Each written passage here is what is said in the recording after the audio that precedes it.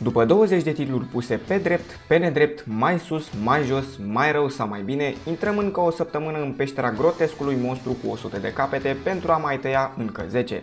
Așa că, fără alte introduceri, să trecem la decapitat. Dacă vorbim de simulatoare, nu avem cum să nu menționăm SimCity 4, care față de noul SimCity din 2013 merge, nu are baguri și nu are DRM. Grafică pixelată care la vremea aceea era ultimul răgnet. Acum la câțiva ani buni aduce un aer de old school. Foarte bine realizat, solid, complex și foarte greu. Înainte să joc acum câteva luni, credeam că eram prea mic și prea prost să-l înțeleg, din moment ce ajungeam să nu mai am bani la buget. Acum că l-am jucat din nou, am realizat că nu mai sunt mic, dar prost tot am rămas pentru că nu am putut să fac un oraș stabil din punct de vedere financiar. Chiar dacă ținerea pe plus a bugetului era grea, problema mea principală era numirea orașului și a primarului. Nume precum Vasile Gheară Tăinuită sau Cosmos Tănase erau primele. Pentru a juca anul corect îți trebuie una bucată PC de la 1 la 3 prieteni și multă răbdare.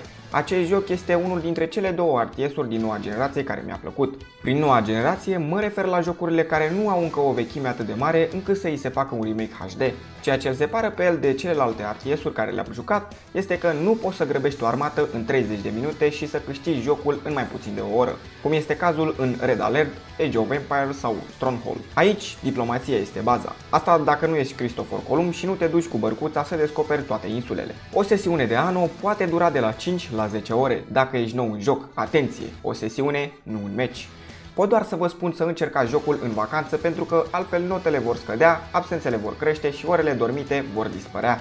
Cu toate că nu prea am savurat jocuri horror, Fear este jocul ideal dacă cauți frică. Un first-person shooter în care trebuie să ții inima în din și să mergi în locuri care mai de care înfricoșătoare. Jocul a fost creat încât să nu ai niciun moment de respir și să stai alert mai tot timpul. De aceea este imprevizibil și vei avea parte de surprize care, cu puțin ghinion, duc la un infart. De asemenea, Fear a devenit o franciză de calitate până și în zilele noastre. Oamenii care caută horror încă apelează la această franciză. Pe această poziție găsim Sniper Elite. În 2005 când a apărut a fost un tactical shooter extraordinar, unde puteai să faci tocăniță din organele inamicilor, având la dispoziție arme din al doilea război mondial. Jocul te învață să te camuflezi și să îl joci într-un mod cât mai stealth, că doar asta este meseria unui lunetist. Povestea jocului a fost una bună. Acest titlu a fost un început de franciză ce este renumită pentru a lei kill de spart organe. Civilization 5 ocupă poziția 76 în topul nostru. De ce? Pentru că este un joc de strategie complex în care ai mari șanse de a fi captivat ore întregi, dar totodată enervant că nu știi ce și cum să faci, pentru că, repet, jocul este complex și pentru început vei avea nevoie de ceva ore pentru a te acomoda cu el. Ideea jocului, dar mai ales perspectiva lui este unică și este motivul pentru care l-am clasat în topul nostru. După părerea noastră, Civilization 5 este un turn-based strategii de calitate. Pe locul 75 vine Dota 2, un MOBA care a decis că League of Legends a fost prea mult timp cel mai jucat joc și că trebuie să schimbe asta. Pentru moment nu a reușit, dar cifrele celor de la Valve arată o creștere considerabilă. Ca jucător de LoL și Dota vă pot spune că LoL este apă de ploaie în comparație cu Dota. Jocul este mult mai lent, putând trece și jumătate de oră până la First Blood. Totodată, Dota este mai greu de învățat decât League of Legends și poate asta este unul dintre motivele pentru care Dota 2 nu a reușit să ajungă din urmă gigantul joc al celor de la Riot. Pe poziția 74 avem Unreal Tournament 3. Pe lângă faptul că jocul avea niște arme și niște gadgeturi dintr-o lume extraterestră, meciurile erau cea mai interesantă componentă a jocului și dacă nu ți aruncai un oricul pe ceas, te trezeai că te-ai jucat mai mult decât așteptările tale. Cum să nu ai o experiență amuzantă atunci când ai mereu la tine un set întreg de arsenal din care să alegi cu ce să-ți măcelerești dușmanul. Fie alegi un sniper, fie alegi un minigun. Toate ți se vor părea o idee bună pentru că killurile în acest joc nu sunt așa de greu de făcut.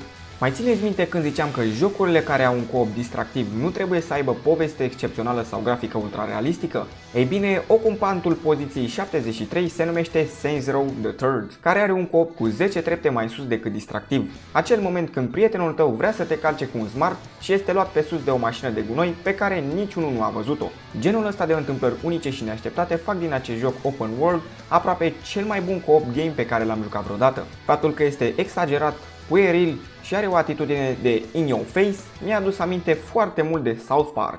Și unde mai punem că poți să te arunci de pe orice clădire. Pe locul 72 găsim GTA 3, un titlu de la Rockstar care a fost efectiv primul joc open world în 3D. Totodată acest joc a fost doar începutul pentru ceea ce a urmat.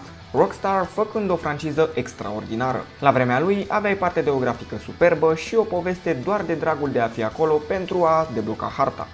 Și cum să uităm de faptul că de la acest joc încoace lumea a început să cam calce pieton la greu. Noi îl considerăm un joc bun, dar nu mai bun de poziția pe care o are. Pe locul 71 îl găsim pe Darksiders 2. Poate vă întrebați de ce am pus Darksiders 2 pe acel joc și nu Darksiders 1. Pentru că Darksiders. Pentru pasionații de action, adventure, RPG și hack and slash, acest joc este perfect. Să fim sinceri, cine nu ar vrea să îmbrace mantia unui călăreț al apocalipsei și să snopească în bătaie monștri din diferite dimensiuni și să salveze omenirea?